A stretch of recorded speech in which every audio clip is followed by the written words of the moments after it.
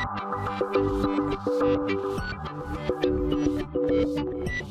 and welcome to my playhouse. And today we're just gonna have a look at the um, Hewlett-Packard Enterprise DL560 generation 10 that I also looked at, well that must be 14 days ago.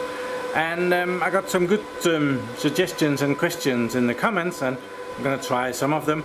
Um, yeah first one how much power does it use and we can go check that. I've just been um, well running a Windows update. Thought that was probably somewhere good to start.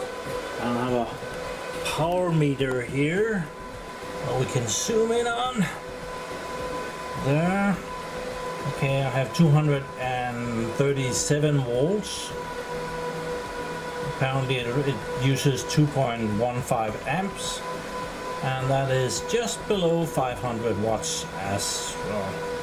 It varies but 500 watts ish so oh we can I think we can see the maximum here as well. Yeah maximum that it has drawn doing power up and doing its stuff is 1243 watts. And a lot of random stuff there so that is 500 watts not doing anything at all. It's it's not actually doing anything. It's just sitting there. So in my last video I had uh, issues testing this because when I was testing it it would only use just about half the cores in the processors in here.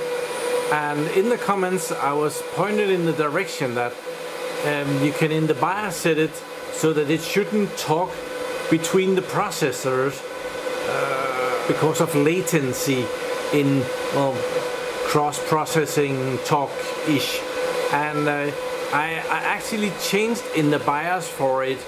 Um, this server was set up for it has some really nice presets that you can set in there. And this was set for maximum virtualization. And I, I shifted it to a more general high performance one and I just tested it and it actually works and I didn't save the changes so that I could show it to you again so uh, let's see what it does for this there we have the program you can see down here what our last score was which is definitely not bad. Up here it now sees scores 144 threads. So when we run the CPU test here, it um, it does that really well, I must admit. And it also scores quite a bit higher, like those 8,923. Well, they are they are definitely good numbers. And this program finishes so fast that I'm not a I really wanted to show you the power uses, but I'm not sure that I can move from here and over to the power meter uh, while it's actually working. So we're gonna we're gonna pick the newer version that, that works a bit longer. Oh, and this time we'll save the score. Uh, blah blah blah blah blah. Yes, yes. So let's let's try this tree thing here. There, and we can see that it compares itself to a to a Ryzen Threadripper over here, which scores 30,054 uh, we do get the right amount of cores here so we should get some really good results. So let's start this and this will run for a while so we can we can make it over to the power meter. But we will also be able to hear that the server will be working very hard on this. As you can hear it's ramping up the fans.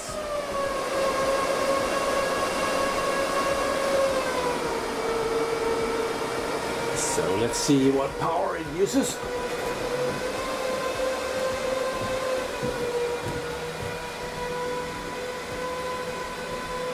Yeah, that's the amps. Oh, it goes up and down a lot. what oh 1400 watts 1300 watts. Yeah. This is uh, this is sucking a bit of power. Oh it, it varies a lot. You can see that so yeah. And I know that if I uh, show put the mouse here oh there we can get some numbers. And it's actually rendering 61,922 so it is over twice as fast as a Threadripper uh, 2990W something something. Uh, WX which is a 32 core processor. But this is also four processors working on it. So so single processing wise the Threadripper is um, is still very very very good Okay, this is pretty cool. I just um, looked at the CPUs while it's doing the render test. So look at this. We have the CPUs there, and if I press start here and go back to the CPUs, you will see all of them going up to 100%. There. And it stays there for the while until it's done. And then it drops again. 144 uh, threads. So a little bit of a short video. Um, this worked way too fast. I wasn't expecting it to be this quick. Um, and I just went into the BIOS and I, I uh, well it has these presettings. Uh, this one was set for virtualization maximum performance. So I changed that to generic maximum computing something. And that made it use all the cores in the CPUs. So that was pretty cool. Um, I was also suggested that I could try and use it for folding at home. I think we'll turn it off. It's actually pretty noisy. yeah, it, it's it's funny enough. The G8 was really quiet. This G10 is rather noisy. Um, yeah, folding at home, but I've been doing plenty of folding at home tests and I know that even a pretty bad graphics card will beat even the fastest CPUs and probably even by four times. So it wouldn't matter that much. And as power has become very, very, very expensive, it would be really stupid to start folding at home with CPU power, except if the machine is kind of on anyway. Um, we do still do a little bit of folding at home. I'm still on there and our little team is actually, I think we were number 83 in the world. The My Playhouse folding at home team. Let's go check that.